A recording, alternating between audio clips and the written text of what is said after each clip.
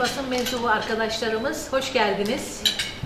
Ee, biliyorsunuz 10 Ocak Çalışan Gazeteciler Günü dolayısıyla biz sizleri kahvaltıda beraber olmayı düşünmüştük. Ee, tarih değişikliğiyle bizim de işlerimiz olduğu için bugün beraber olduk. Sizlere katıldığınız için teşekkür ediyoruz. Bizlere onur verdiniz. Zaman basınla iç içedir ve biz sizleri her zaman da yanımızda görmek istiyoruz. Sizler bizim gözümüz, kulağımız, ışığımızsınız. O yüzden her zaman sizleri yanımızda görmek istiyoruz. Bizler çünkü biliyorsunuz e, her şeyi yoktan var eden gönüllü neferleriz ve bir anneyiz. Anne olduğumuz için de her zaman hassas davranıyoruz her bakımdan. E, o yüzden basınımız her zaman sizlerin yanımızda olmanızı istiyoruz. E, çünkü sizler bizi tanıtarak biz daha çok bağış topluyoruz, daha çok hizmet yapıyoruz. Bu basınımızın desteğiyle oluyor. E, Türk Anneler Derneği'ni e, tanıtmama gerek yok herhalde. Sizler biliyorsunuz. Bizim şu anda Çanakkale şubemiz 32 yıl oldu kurulalı. Ve e, 12 yönetim kurulu üyemiz var. 300'e yakında e, üyemiz vardır.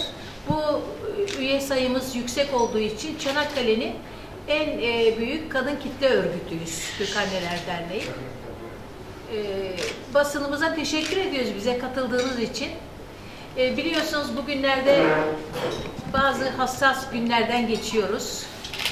Bizim genel merkezden gelen basın açıklamasıyla e, bir basın açıklaması da yapmak istiyorum bugün.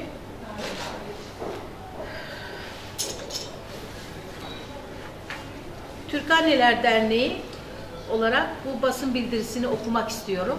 Bu geldi ve bütün şubeler bugün Türkiye genelinde bu bildiriyi okuyacaktır.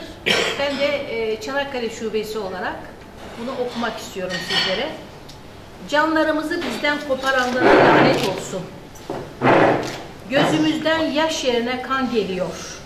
Bizlere bu acıyı yaşatanlarla hesabımız var.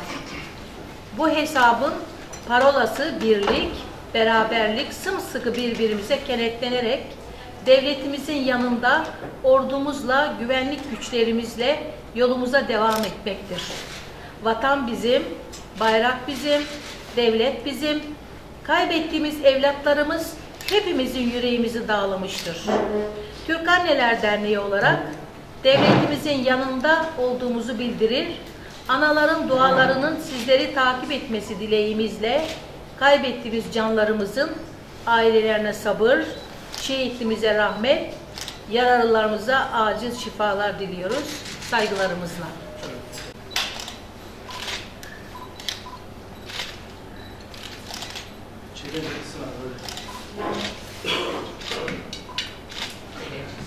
Bir şey yapalım Olur mu? Yani mesela biz şimdi şöyle bir etkinliğimiz